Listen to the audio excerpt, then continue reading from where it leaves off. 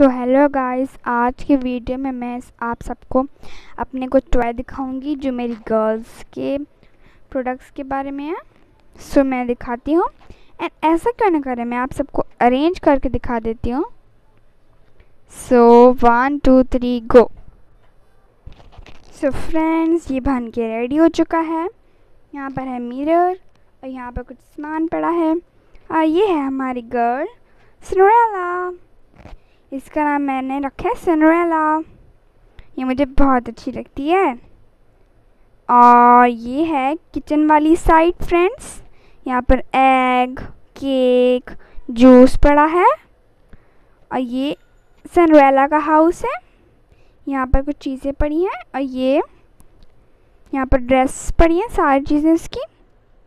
और यहाँ पर जू भी है, फ्रेंड्स। आप लोगों को दिखाए सनरेला ये देखें।